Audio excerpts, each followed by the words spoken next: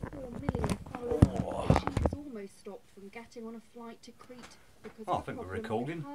Now I've done a few drone reviews before. Um,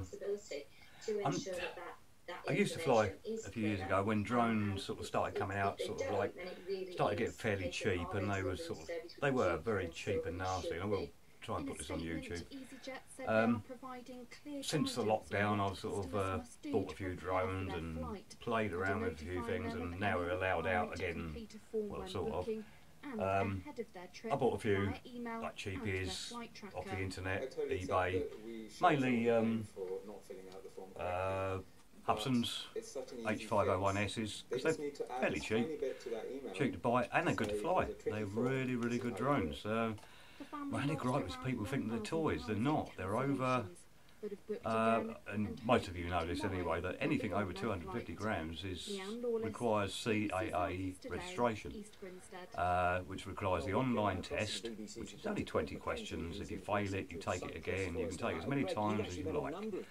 Uh, once you've actually pass the test, it's £9 a year, um, which is nothing, you know. You still got to really be careful where you fly. Built up areas is a no-no. Uh, you've got to get out into the countryside. I, I personally, I go up uh, where I live. There's uh, the South Downs. Uh, I get up to Commons. Basically, there's a place called Farthing Common, which is common land. There's loads of places you can fly. Um, CAA specify that uh, it's not illegal to fly over people's land. It's like a hot air balloon going over someone's land or a private aircraft. They can't stop that. So as long as you're not in their land, taking off, or on their land, if your drone lands on their land and uh, it, you know it, it crashes, then they're within their legal rights to say, oh well, you know, it's confiscated. Um, I don't know what the legal precedents, are, but uh, but you can fly anywhere you like, really, as long as you're not really intruding on people, animals. Another thing to be careful is, you know, cattle, sheep. If you're disturbing people, sheep and, cows and animals, then yeah, you, you're going to get caned, you know. So it's um, anyway. The, the, the main reason I wanted to make this video is because yeah, I've been playing around with you know little cheap drones like this. Say cheap, they're not cheap, but um, I've got a couple of these and they fly really well. The cameras okay. The camera actually doesn't work on this one, so which is why I've got it set up to carry a uh, GoPro. Um, and it flies well. You get about maybe 18 minutes of flight time out of it if you're lucky, depending on the weather, wind, uh, even heat can affect it, cold can affect it. But anyway, so that's a Hubsan. What I really wanted to.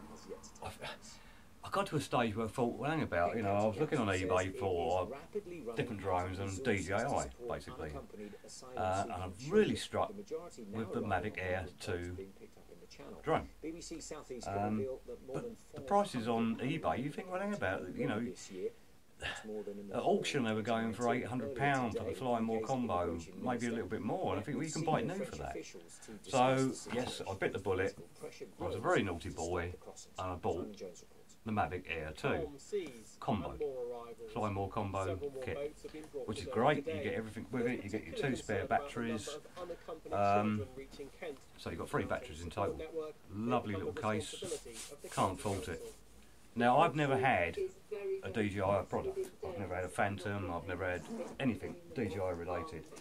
So I was, you know, I was looking forward to seeing what this thing was like. And yeah, you open the case up and uh, I'll take the controller out first. So you've got your controller, which is fantastic. There's some real weight to it. You know, it's uh, it's got your little sticks in the bottom you take out and you screw in. Um, antenna pops out. You can put your phone in there, and that's actually the antenna as well, which is uh, it's got a 10 kilometre flight range. Um, I can't remember what they call it. Is it Oculus? Is it Oculus 2 or something like that? Their actual their system, which is basically the best on the market. You know, you've got your your scroll wheel, uh, scroll wheel for your gimbal there, which is, requires a very light touch. Although they have bought out, uh, I'll go on to this fly app right at the end because this is a major gripe or con with the Mavic Air 2. Uh, requires a very light touch. But very good. I haven't, I haven't actually had a chance to fly it. I must admit, I, I bought it a week ago and with work commitments and the weather, it's been so hot and I've, I've had to do other things. But uh, so the drone itself, it's absolutely, it's, it's beautiful. It's really, really beautiful made. It's got your gimbal guard there on the bottom, which is simply clicks off, and you've got your you've got your camera there, which is will take 4K up to 60 frames per second, and photographs at 48 megapixels. Although it's not true 48 megapixels, you have to play around with, with post edit. Um, I'm not too clued up on that, but size wise, you open it up uh, like all like the old Air, back arms flip down. But look at it, it's and it weighs in at probably 700 grams, just over 700. So it's a little bit less than the Mavic Air Pro 2. Um, and slightly smaller as well. I think the the Mavic Pro is maybe a little bit bigger. Not a lot bigger, but it's, it is fairly big. So we compare that with the uh, the Hubsan. So really, it's about the same size. In fact, it could even be slightly smaller. But I can see that Hubsan from, for, you know, I can see that for a long distance. I can take that out to a thousand metres, and I can still see it. I can still see the lights flashing on it. I can still see the LEDs fairly bright. These, when you turn it on, I mean, you, I mean, the lights are really bright on it, and if you get really lost, you've got an LED on the on the bottom, which you can turn on.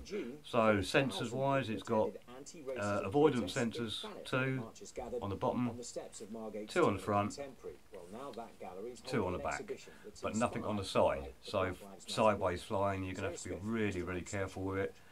Um, again, like I say, the range on it apparently is, is quite incredible. But again, we've got very strict laws over here in England that you're only supposed to fly in line of sight.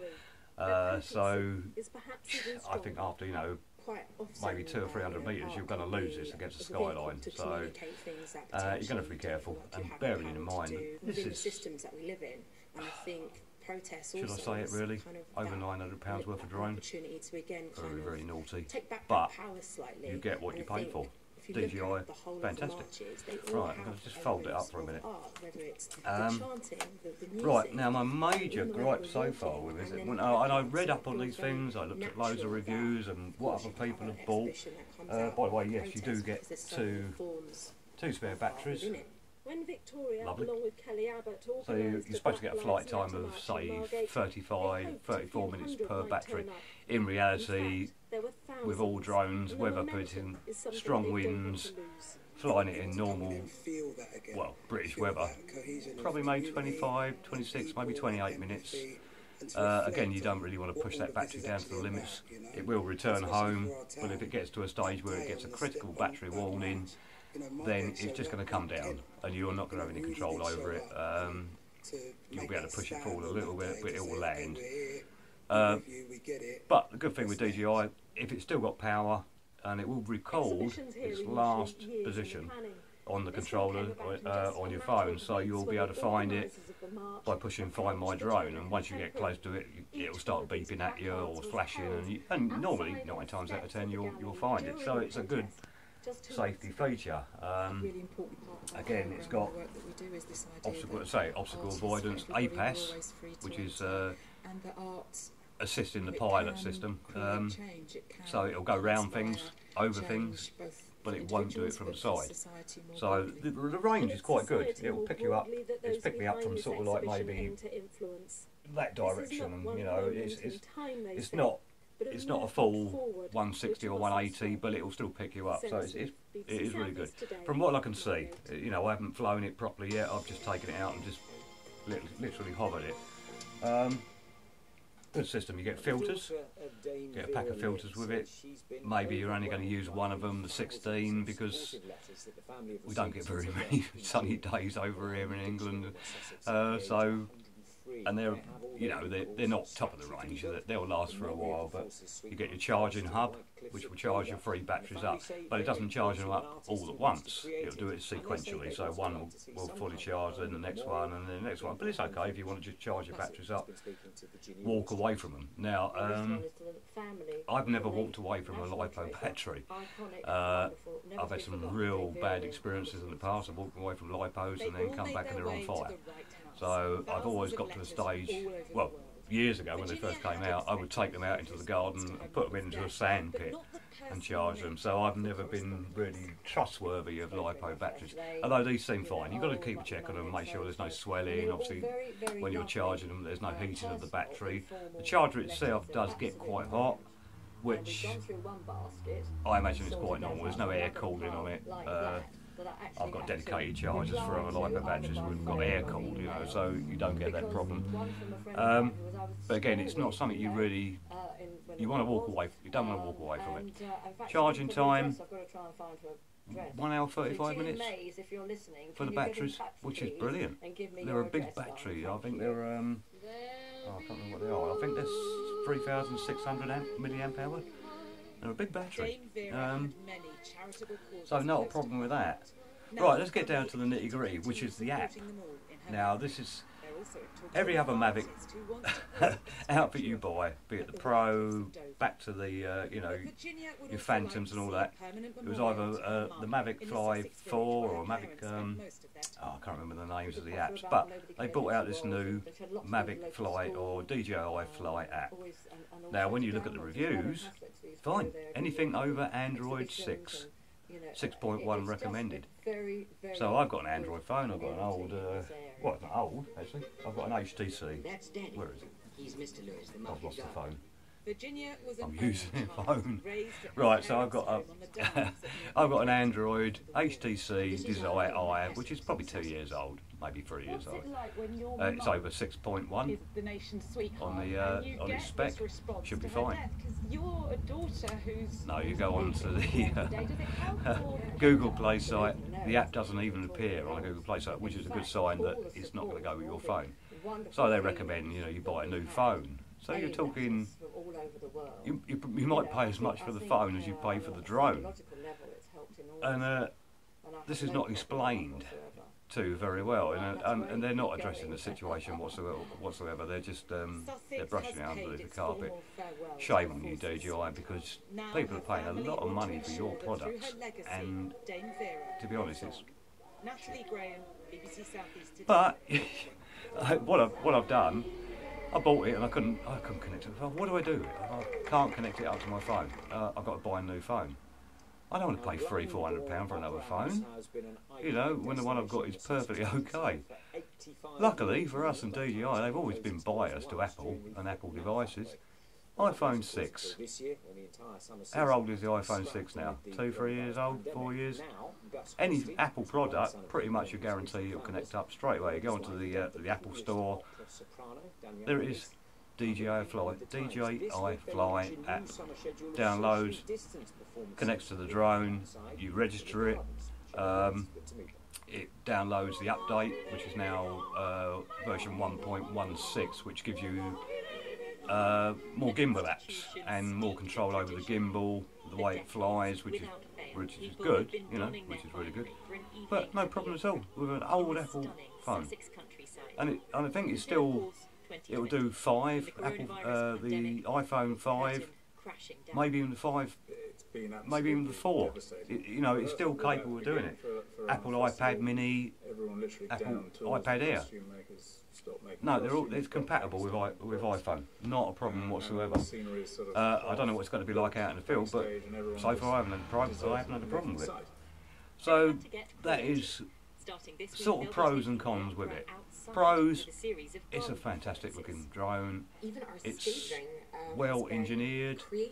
Even when you fire it up, you can hear the cooling fans going. It's cooling the, the uh, ESA, uh, the, So it's a little bit like a sort of science the electronic flight We have that controllers, way to put on an the opera S, in ESCs, sorry, ESCs. It's it's it's cooling them down. It's controlling, few months con, uh, it's, co- personally it's cooling down the main boards. Everything, the heat sinks. once described as the Um, heartbeat of Glyndebourne, Well built away in June. camera, brilliant camera is their pregnancy with fantastic. Uh, gimbal works, no problem at all. Won't be heading off I'm just worried about crashing it, you know. So, um, So I'm in the so mid-Africa first time I fly, I'm going to go away where there's no people, no dogs, no animals, no otherwise known as sheep, no cattle, and I played the uh, and try and fly this thing. But um, uh, it's hilarious. again, like I say, and actually, it really excuse my smoking habit. I mean, what a don't feel like fantastic looking drone.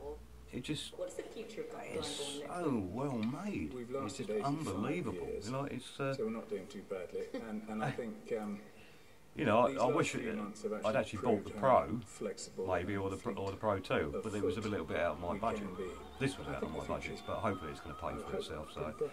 it Um, might look a little different to this yeah, when it opens so my tomorrow. general opinion of They're it, hoping the socially distanced season fantastic. will be Easy to use, Charlotte easy to BBC fly, Southeast Today in Blindwell. uh, easy to set up, as long as you've got an iPhone. Place Glyndebourne, isn't it? So, uh, DJI, you need to get your finger out of your Southtown, and so butthole, you might well expect to hear the cries putting it politely, seagulls if you're and sort out the people who have bought this, and some pigeons who've got Android phones that they can't use.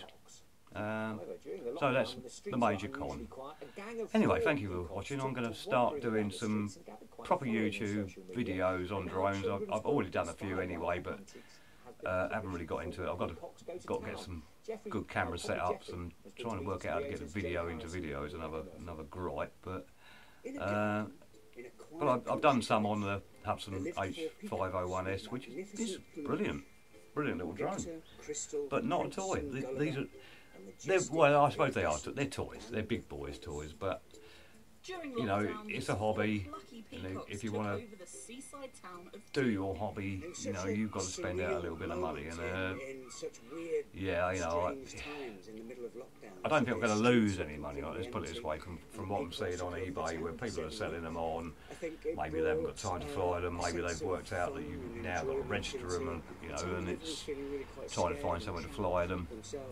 But you, you know, you, you can fly them pretty much anywhere as long as you're not breaking the rules. has proven a hit And it's worth going onto that CAA Civil Aviation website and reading their guidelines because it tells you everything in there. Take that test.